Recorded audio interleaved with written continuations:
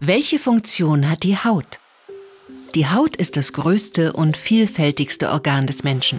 Sie schützt den Körper vor Umwelteinflüssen und hilft ihm, seine Umgebung wahrzunehmen. Die Haut besteht grundsätzlich aus drei Schichten, der Oberhaut, der Lederhaut und der Unterhaut. Die äußerste Schicht der Oberhaut ist die Hornhaut. Diese Schicht ist an manchen Körperstellen dicker als an anderen, an den Fußsohlen zum Beispiel, da diese beim Gehen stark belastet werden. In der Oberhaut gibt es spezielle Zellen, die den Hautfarbstoff Melanin bilden. Melanin schützt die Haut vor den UV-Strahlen der Sonne. Unter der Oberhaut liegt die Lederhaut. Sie besteht zum Großteil aus dehnbarem Bindegewebe.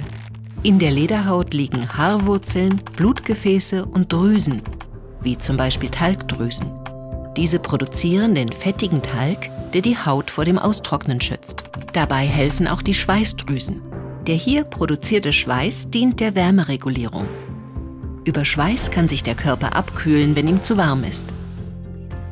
Außerdem gibt es in der Lederhaut viele Sinneszellen und Nervenenden. Durch sie kann der Körper Wärme oder Kälte wahrnehmen und Berührungen oder Schmerzen spüren.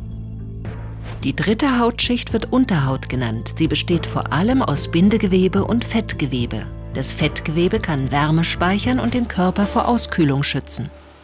Außerdem dient er als Polster bei Stößen. Wissen ist gesund.